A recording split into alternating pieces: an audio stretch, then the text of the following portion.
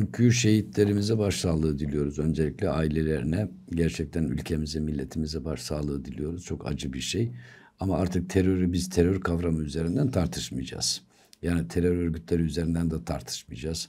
Dar anlamda teknik terör tanımı üzerinden ne ülkemizi, ne ülkemizin etrafında olanları, ne coğrafyayı, ne de dünyada olanları anlayabiliriz. Bunu anlayamayacağımızı çok önce fark ettik. Dünkü terör saldırıda bunun saldırıları da bunun e, bir parçasıydı. PKK'nın arkasında kim var? Amerika Birleşik Devletleri ve İsrail var ve Avrupa devletleri var. E, bunlar kurdular zaten PKK'yı. E, bunları yönetiyorlar. Bunlar silahlandırıyorlar. Bunlar eğitiyorlar. E, istihbaratı onları sağlıyor. Doğrudan hedefleri onlar belirliyor. Nereye saldıracaklar da onlar söylüyor. Aslında devletten devlete bir savaş var burada. Bir adı konulmamış, tanımlanmamış, resmileştirilmemiş bir dolaylı savaş var. Amerika Birleşik Devletleri Suriye ve Irak üzerinden Türkiye'ye saldırıyor. Örgütler üzerinden saldırıyor. DAEŞ'ı da bu anlamda kullandılar. DAEŞ propagandası yaptılar ama DAEŞ'ı kullandılar. Türkiye'ye saldırttılar. PKK'yı saldırtıyorlar, YPG'yi saldırtıyorlar. Hepsi aslında tek merkezden yönetilen örgütler. Bölgemizde hiçbir şeyi artık ülke ülke değerlendiremeyiz. Coğrafya ölçekli değerlendirmek zorundayız. Siz de söylediniz. Gazze'de bir savaş var. Gazze'de bir katliam var, bir soykırım var. E, iki buçuk milyon nüfuslu küçücük bir e, bölgeyi tamamen insansızlaştırıyorlar. Tamamen yok ediyorlar. Çocuklar ve bebekler üzerine sistematik bir soykırım uyguluyorlar. Bunu Amerika Birleşik Devletleri ile İsrail birlikte yapıyor. Avrupa devletleriyle İsrail birlikte yapıyor. Ardından e, Yemen e, doğal bir refleks gö gösterdi e, Gazze'deki katliamlara. E, Yemen'e hava saldırıları, Amerika ve İngiltere hava saldırıları düzenledi. Aslında ee, İsrail de var içinde, Bahreyn var. Bölgede bazı Müslüman ülkeleri de sos olsun diye o görüntünün içerisine katıyorlar. Bir ülkeye daha saldırıyorlar. Tam onun üzerine e, Kuzey Irak'ta, Irak'ın kuzeyinde, Pence Kilit Operasyon Bölgesi'nde 9 tane askerimizi şehit ettiler. Bunları artık PKK öldürdü demiyoruz. E, YPG şehit etti demiyoruz. Artık doğrudan Amerika Birleşik Devletleri tarafından bir saldırıya uğradık olarak görünüyor. Yani e, bunun e, içerideki e, siyasi ayakları da var e, dışarıdaki ittifakları var. Bunun bölgede ortakları var. E, ve Türkiye'ye karşı, Türkiye'nin güneyine güneyinde bütün güney sınırlarına karşı bir e, müdahale var, bir kuşatma var, bir saldırı var. Şimdi bizim burada yapmamız gereken şey şu, Türkiye'nin başladığı bir şey var. 15 Temmuz'dan hemen sonra Türkiye e, e, Fırat Kalkanı operasyonu yaptı. Zeytin Dalı, Dalı operasyonu yaptı e, İran sınırından Akdeniz'e kadar Türkiye'nin güney sınırı boyunca e, uzanan o kuşağı temizlemeye çalıştım. O kuşak aslında bir terör kuşağıydı, bir harita çalışmasıydı. Biz bunun için e, canhıraş bir mücadele verdik bu operasyonları olması için. Çünkü o, o bölgeyi güvene kavuşturmadan Türkiye, Anadolu'nun Türkiye'nin güvene kavuşması mümkün değildi ve olmayacaktır da. Ama yarım kaldı. Büyük operasyonlar yapıldı. Harita büyük oranda engellendi ama tamamlanmadı bölgedeki Rusya varlığı, bölgedeki Amerika Birleşik Devletleri varlığı, bölgedeki diğer Avrupa ülkelerin etkisi, bazı bölgedeki Arap ülkelerin etkisiyle e, bu olay tam sonuçlandırılamadı. Temel felsefemiz şu olmalı. İran sınırından Akdeniz'e kadar, İskenderun körfezine kadar, Suriye'nin kuzeyine kadar e, hiçbir yabancı devlet varlığı olmamalı. Bu ister Amerika olur, ister İngiltere olur, ister, ister İsrail olur, ister İran olur ya da bir başkası olur hiç Türkiye hiçbir devletin Türkiye'nin güney sınırı boyunca askeri varlığına müsaade etmemeli.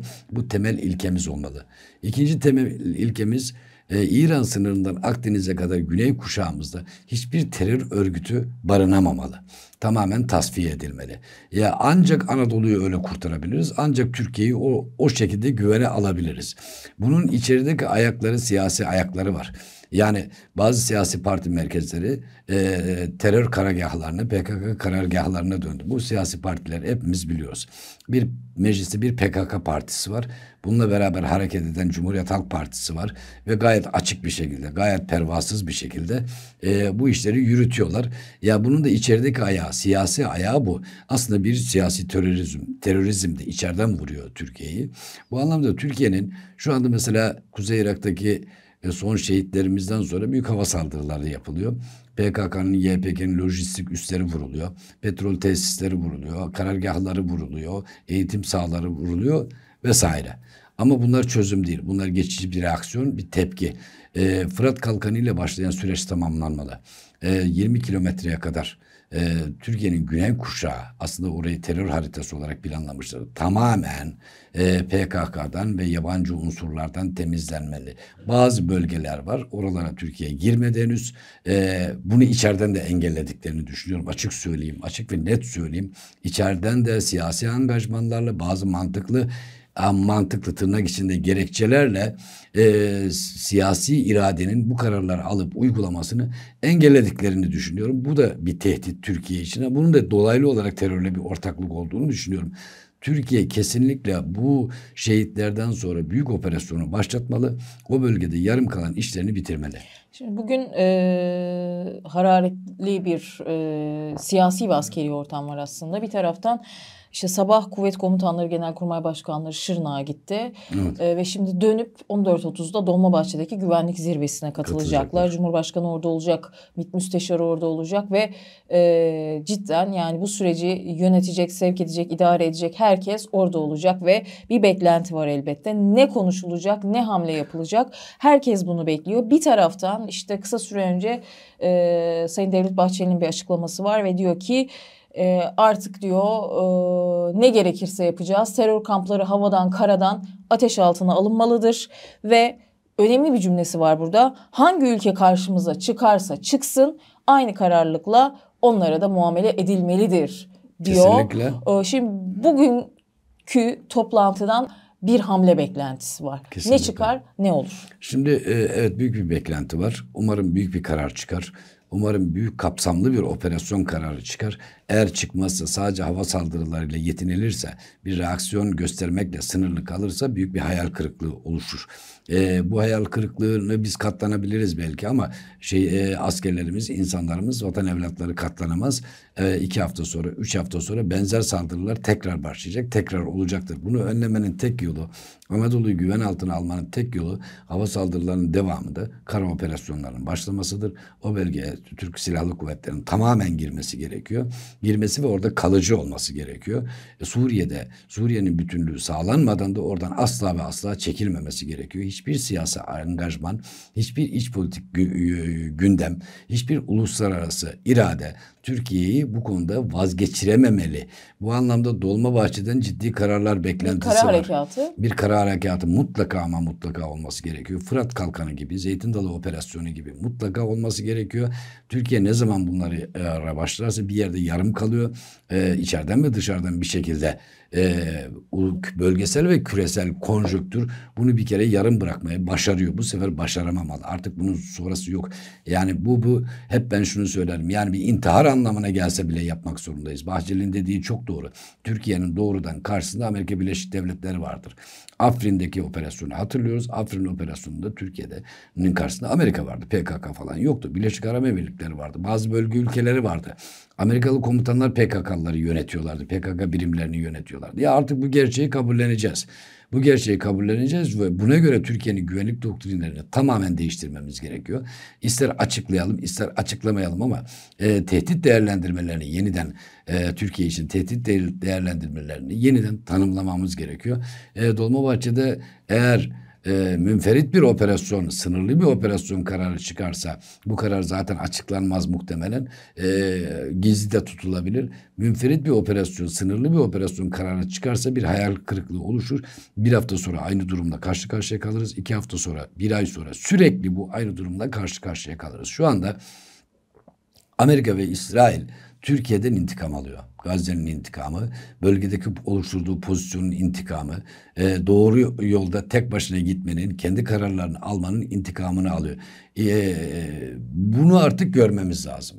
Ve bizim İran sınırından Akdeniz'e kadar sınırın 20-30 kilometre derinliğinde hiçbir boşluk bırakmadan kara operasyonunu yürütmemiz gerekiyor ve oralarda kalmamız gerekiyor. Aslında e, bütün bu e, terör kuşağını aslında zımnen himaye eden bir e, siyasi aktör grubundan da bahsediyorsunuz. Kesinlikle. Dün akşam e, ve bu sabah gündemde olan yine e, o aktör grubunun bir e, ifadesi var.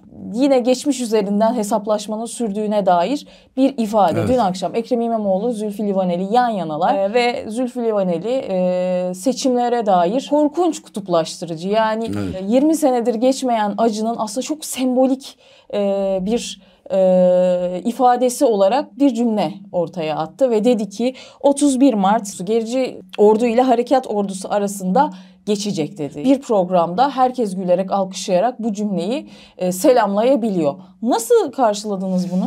Bunlar bir imparatorluğu yıkmış insanlar. Bunlar gerçekten Türklerin, e, bu coğrafyanın, dünyanın, Müslüman dünyanın en güçlü devletini yıkmış, Batılılarla birlikte olmuş, İngilizlerle, Fransızlarla birlikte olmuşlar ve yıkmışlardır. Dağıtmışlardır, coğrafyayı paramparça etmişlerdir. Yani sadece İngiliz işgali, Fransız işgali değil coğrafyayı paramparça eden, içerideki uyduların, içerideki e, genetik olarak onlara bağımlı yapıların ve çevrelerin el birliğiyle yıktıkları, parçaladıkları bir coğrafya var. Ve bu coğrafya Osmanlı parçalandıktan sonra bir daha asla kendine gelemedi. Dünyanın bütün savaşları burada, bütün çatışmaları burada, bütün insan hakları ihlalleri burada, bütün zulümleri burada, bütün gayrimeşru rejimleri burada, bütün ahlaksızlıkları burada, bütün adaletsizlikleri burada, bütün ekonomik e, düzensizlikleri ve fakirlikleri burada. İşte bu köleleşmiş e, coğrafyamızdaki köleleşmiş insan insanların köye kendi ruhlarını satmış insanların Amerika'ya İngiltere eskiden İngiltere'ydi şimdi Amerika bunlara satmış insanların onlar adına vekalet savaşı yürüttükleri yürütmelerinden kaynaklanıyor. Zülfü Livaneli'nin orada söylediği şey öyle bir intikamcı bir söylem ki asla yerli değil. Asla bu coğrafyalı değil bu adam. Yani bu ülke değil. Asla Osmanlı değil. Asla bizim tarihin bir parçası değil. Asla Türkiye Cumhuriyeti değil. Yani bu genetik olarak buralara ait değiller. Bu topraklara ait değiller onlar. Onlar başka bir hesabın adamları. E ve ta hareket ordusu, İttihat ve Terekki o zamandan beri devam eden bir intikam söylemini de bugün de e, devam ettiriyorlar. Dünya değişti. Biraz önce sen söyledin. Amerika ve İsrail, İsrail soykırımcı bir devlet olarak yargılanıyor şu anda. E, yargılanıp yargılanmamaları önemli değil. İsrail soykırımcı bir devlettir. E, İkinci Dünya Savaşı'ndan bu, bu yana bütün soykırım endüstrisi Gazze'de toprağa gömülmüştür. Yeni bir soy, soykırım söyleme başlamıştı. İsrail bunun altından kalkamaz. Amerika dünyadan tecrit edilen bir ülkedir. E, Çin, Rusya, Hindistan, Güney Asya, Latin Amerika, Orta Doğu hiçbir yerde istenmiyor. Sadece silahlı gücü, askeri üsleriyle bir takım yerlerde baskın bir şekilde şiddet uyguluyor.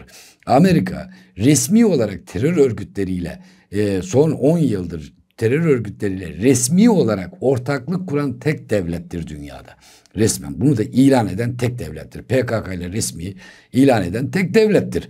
Yani böyle bir devletin dünyanın geleceğinde hakim olması, söz sahibi olması, inisiyatif sahibi olması, bir kredi kullanması asla mümkün olmayacaktır. Olmayacaktır. Batı dünyası duraklamıştır. Batı dünyasının gerilemesine tanık olacağız. Ve o da başladı zaten. Artık dünyayı yönetemeyecekler. Süs, coğrafi keşifler dedikleri sömürgeciliğin başlangıcından bu yana devam ettirdikleri, yüzlerce yıldır devam ettik, ettirdikleri küresel saltanat 21. yüzyılın ilk çeyreğinde çökmüştür. Batı bir daha dünyaya hakim olamayacaktır. Eski medeniyetler geri dönmektedir. Eski milletler, büyük milletler geri dönmektedir. Türkler de geri dönmektedir. Bu coğrafya da geri dönmektedir. Buralara Amerika olmayacak. Şimdi bunların efendileri patronları geriliyor. Bu zayıflıyor, güçten düşüyor. Patronların güçten düştüğü bir dönemde bunların da hükümleri, hüküm, hükümleri olmayacaktır. Bunlar artık tarih sahnesinden Zülfü Livaneli gibi insanlar onların temsil ettiği zihin dünyası tarih sahnesinden silinmiştir. Onlar tek başlarına kaldılar. Bir gelecekleri de olmayacaktır. Onlar tam tersini iddia ediyor. E, göreceğiz. Coğrafyanın, milletlerin, dünyanın eğilimini, e, e, yönelimlerine iyi bakan insanlar bu tip yapıların artık dünyanın geleceğinde bir yer e, edinemeyeceğini, bu tip çevrelerin Türkiye'nin geleceğinde bir yerleri yerleri olamayacağını e, acı bir şekilde tanık olacaklar. Son son sözlerini söylüyorlar bence. Bunların bir geleceği yok.